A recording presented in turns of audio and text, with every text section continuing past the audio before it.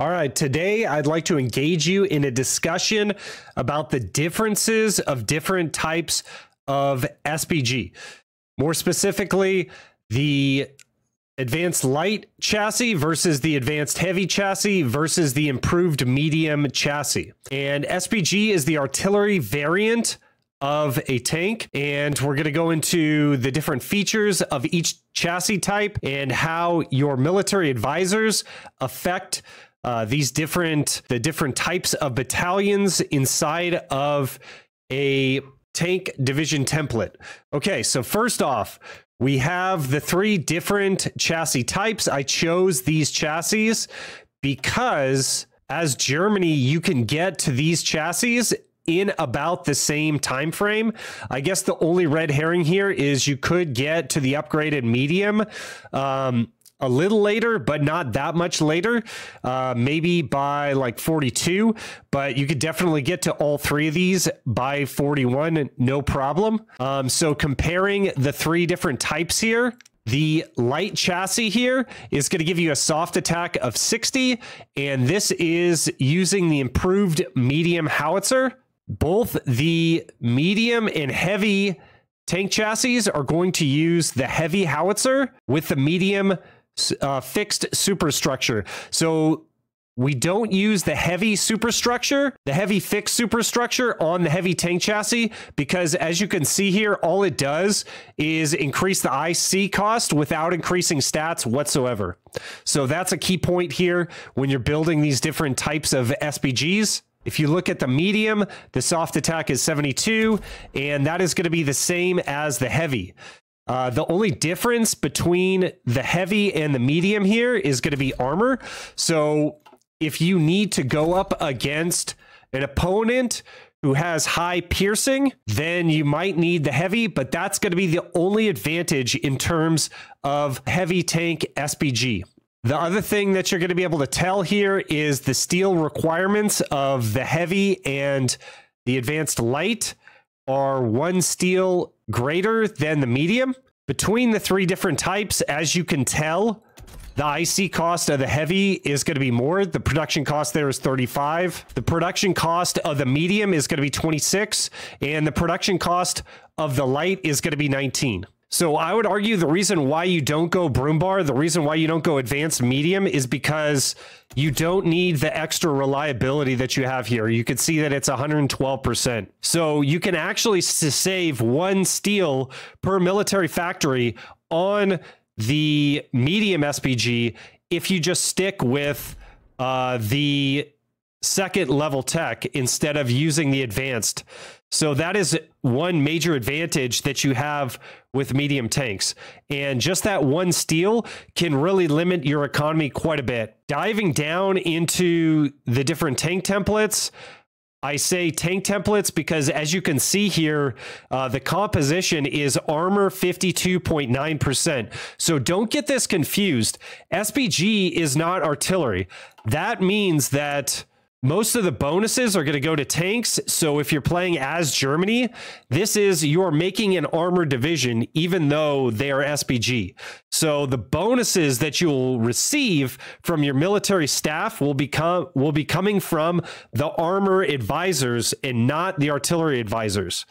This is why armor is so good because you can have so many different battalions inside of your template, and that armor advisor is going to affect those greater than say an artillery advisor. So in artillery, you typically go 7-2. So there's only two artillery battalions. So an artillery advisor is only affecting two battalions, whereas the armor advisor is affecting all of these SPG battalions.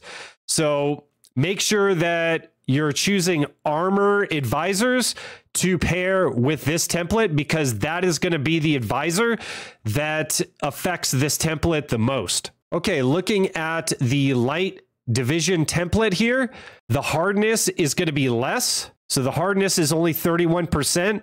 That means if you're using mobile warfare doctrine, you do not have access to the blitz tactic.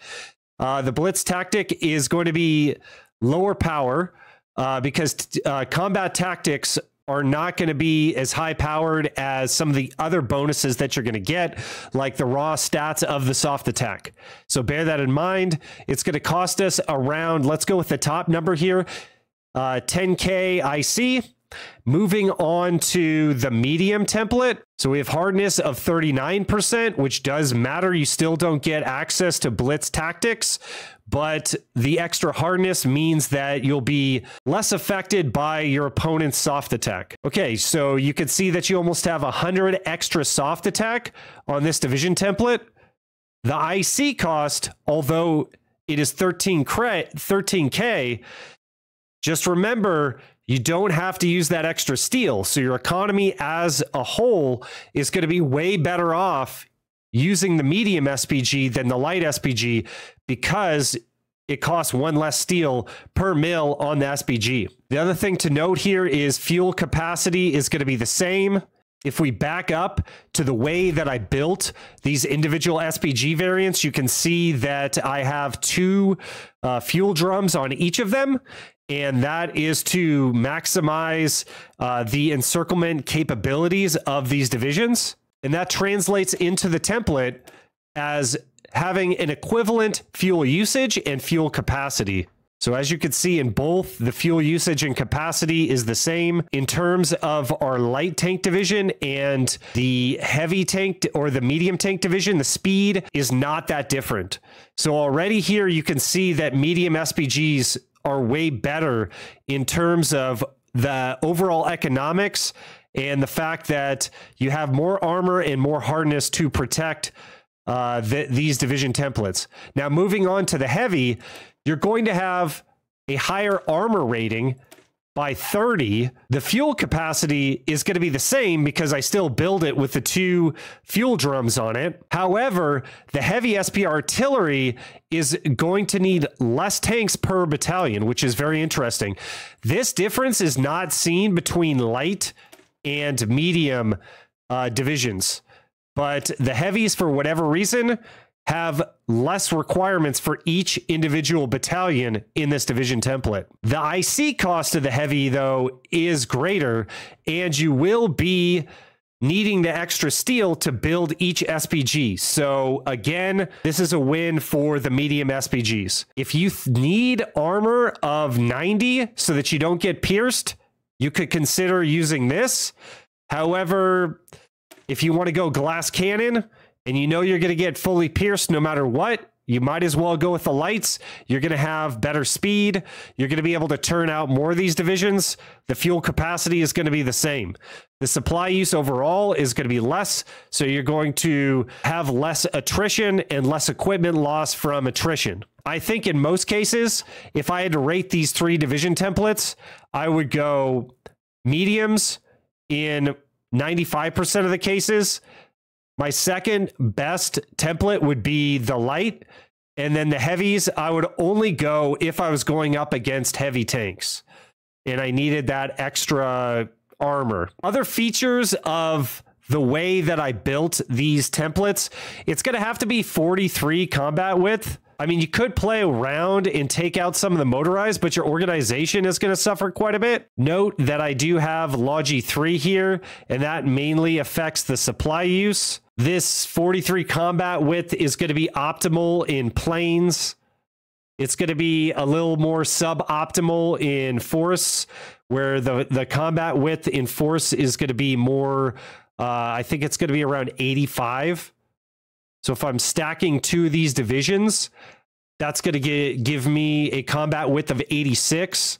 So I would be aware of attacking into forest with this. And simply the strategy you go here is try to attack into plains only, make it encirclements around plains only. And with all the soft attack that you get on this medium division, your speed is not going to be that crazy of a difference. You're going to have more of a speed differential based upon what your air status is. And if you put AA, support AA in these divisions, the support AA, because you're able to ward off enemy air is going to give you more speed than having the raw speed right here. So make sure that you bear that in mind. And green air is going to give you more speed than anything else. So green air is going to affect the speed above all else. If you uh, min max this and you try to maximize speed and then you don't min max for air superiority, you're going to lose out anyways because under red air, everything is slow. Even, you know, a tank with a speed of like 15 or something ridiculous under red air is going to have so many debuffs, it's not going to matter. So bear that in mind. Always have your green air over your armored spearhead. What type of SPG do you like? Going to go with mediums. Uh, for whatever reason, Hearts of Iron 4, the meta is going to be the medium chassis, in my opinion. Give me a like and subscribe if you enjoyed this video, and I'll see you on the next one.